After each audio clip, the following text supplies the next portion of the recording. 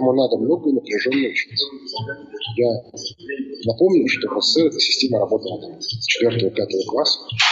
Я помню, как я уже в 4-5 классе делал информацию, ну, учился фильтровать информацию по международным событиям. Всех нас учили.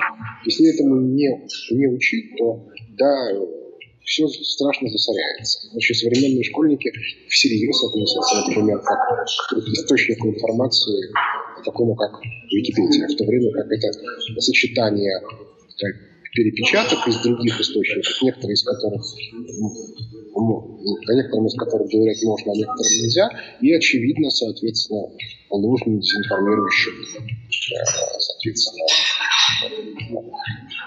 сообщениям, которые вполне целенаправленно к нам в мозги выбрасываются. Да, нужно учить. Да, я, например, знаю экономистов, которые, ну не экономистов, скорее, бизнесменов, которые читают в качестве источника информации ведомости коммерсант. Да?